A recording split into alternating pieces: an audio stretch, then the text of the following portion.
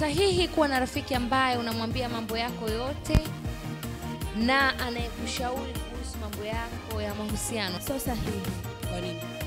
lakini sisi wasichana wengi sana tunakuwa tunakosea.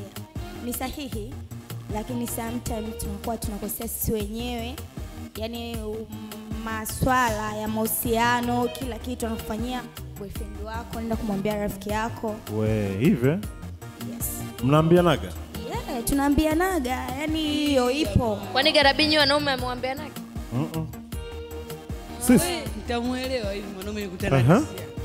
tunaambianaga sana yani, lakini tunakosea kwa sababu huwezi kujua pia yule unayemwambia naye yani, anajisikiaje vile, afu ukikuta yeye boyfriend wake amfanyii yale ambayo unaofanyiwa wewe, anaweza akajiongeza. eh, anaweza akajiongeza.